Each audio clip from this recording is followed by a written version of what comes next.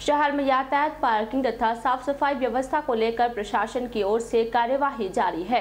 कार्यवाही के दौरान पुलिस प्रशासन की ओर से यातायात तथा पार्किंग व्यवस्था को सुचारू बनाए रखने के लिए कार्यवाही की जा रही है। वही साफ़ सफ़ाई व्यवस्था को लेकर नगर परिषद प्रशासन की ओर से कार्यवाही की जा रही है।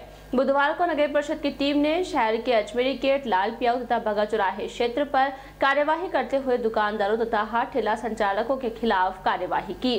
टीम ने अजमेरी गेट स्थित दो तथा लाल प्याऊ क्षेत्र में एक शराब की दुकान के खिलाफ दुकान के बाहर कचरा फैलाने पर कार्यवाही की। इस दौरान टीम ने अजमेरी गेट स्थित दो शराब की दुकानों पर एक एक हज़ार रूपए तथा लाल प्याऊ क्षेत्र की एक शराब की दुकान के खिलाफ दो हज़ार रूपए का जुर्माना वसूला। साथ ही भविष्य में अपनी दुकानों के बाहर कचरा नहीं फैलाने के लिए भी पाबंद किया।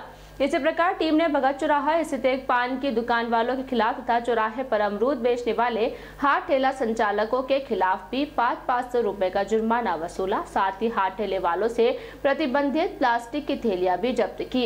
इसी प्रकार बुधवार सुबह डिप्टी मनीष चौधरी की मौजूदगी में पुराना बस स्टैंड स्थित जामन चाय तथा तंदूरी चाय वाले के यहाँ टीम ने कार्यवाही की। कार्यवाही के दौरान टीम ने जामन चाय वाले की दुकान के बाहर रखी कुर्सियाँ तथा टेबल आदि जब्त करते हुए दो हज़ार रूपए का जुर्माना वसूल किया।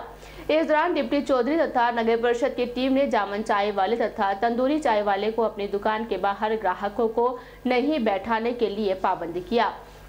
इस दौरान डिप्टी चौधरी ने टैक्सी स्टैंड पर दिन भर खड़े रहने वाले टैक्सी चालकों को भी अपने वाहन अन्यत्र खड़े करने के निर्देश दिए। कार्यवाही टीम में नगर परिषद के स्वास्थ्य अधिकारी Sunil Yadav K C Meena, Hariram Lakhan, Ravi Sangela, Robin Gharu तथा मनीष टाक आदि शामिल थे।